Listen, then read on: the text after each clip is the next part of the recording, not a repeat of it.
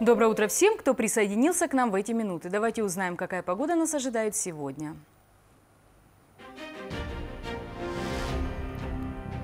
По республике отмечается переменная облачность. Ночью преимущественно без осадков. Во второй половине дня в горах местами кратковременный дождь с грозой. Ветер восточный 5-10 метров в секунду. Днем возможны порывы до 14. Температура воздуха ночью плюс 10, плюс 15 градусов. Днем 27-32. В горах ночью местами от 3 до 8 тепла, ночью в горах 17-22 градуса. В северных районах чрезвычайная пожароопасность. Местами в южных районах высокая пожароопасность. В Черкеске переменная облачность без существенных осадков. Ветер восточный 5-10 10 метров в секунду, днем порывы до 14, ночью 13-15 градусов, днем 32. Сегодняшний гость нашей программы – артист, вокалист Максим Колесников. У него есть поклонники и в Пятигорске, и даже в Хабаровске и Иркутске. Служит он в музыкальном театре. С ним встретилась Альбина Ламкова. Максим, сколько лет служишь театру и как давно появилась у тебя любовь к театру? Была ли это мечта детства? Все совершенно случайно.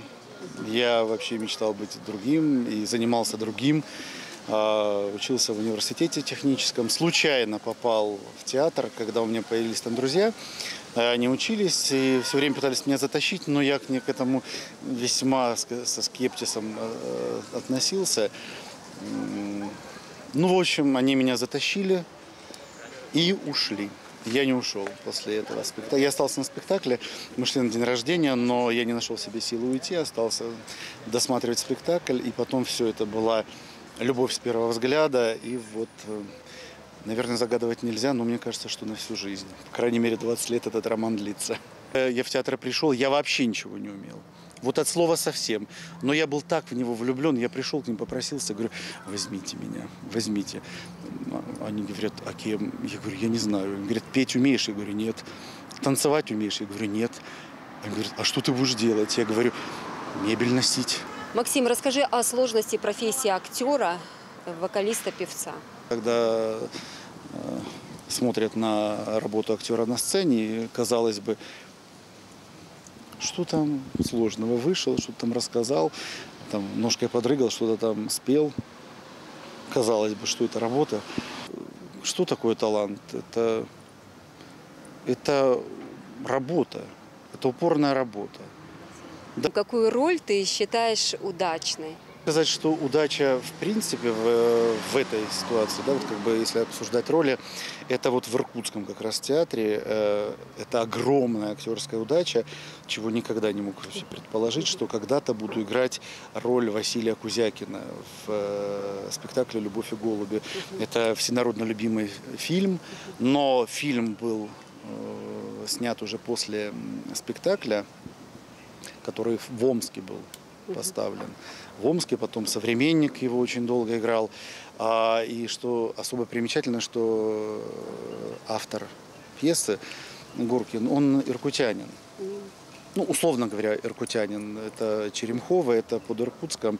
И это такой местный Шекспир для Иркутска, да. Хотя там нельзя сказать, что кто из них местный Шекспир. Там и Гуркин, и Вампилов, и Распутин. Угу. Мне хочется, чтобы роли были интересные. А актеру необходимо расти от роли к роли, и поэтому важно, чтобы был выбор материала таков, чтобы неинтересно повторяться. Интересно что-то искать уже новое.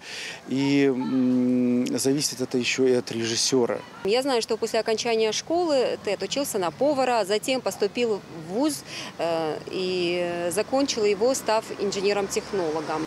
Сейчас ты служишь театру и стал успешным актером. А, но я знаю одну твою мечту. Угу. Ты мечтаешь сесть за штурвал самолета. Расскажи о ней, пожалуйста. Это не спетая моя песня. А, вот так как-то в жизни вышло. Я даже не могу сказать, когда это произошло. Достаточно я в позднем возрасте впервые полетел на самолете. Боялся до ужаса э, этой махины огромной. Но влюбился безбожно в самолеты в небо, по сей день это мое хобби. А, и был такой год, когда Аэрофлот запустил программу, когда он бесплатно э, принимал на обучение значит, мужчин до 35 лет э, переучиваться и получать высшее образование, значит, дабы потом работать пилотом в аэрофлоте. И вот э, я собрался уже туда идти. Но оперходбор, конечно, у них колоссальный отбор по здоровью. Пилоты, они, они небожители, правда. Они не, не от мира сего тоже. Вот. И, ну и театр тут как бы не отпустил. Следующий выпуск «Вести» смотрите в 14.30 с ведущей Аллой Динаевой. Хорошего продолжения дня. Встретимся завтра.